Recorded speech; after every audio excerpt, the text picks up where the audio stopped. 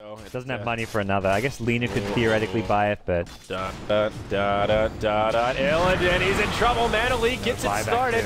Now they hop in. He'll use the mansion very early on. Arteezy pops his BKB. Sedoy comes in with a Berserker's call.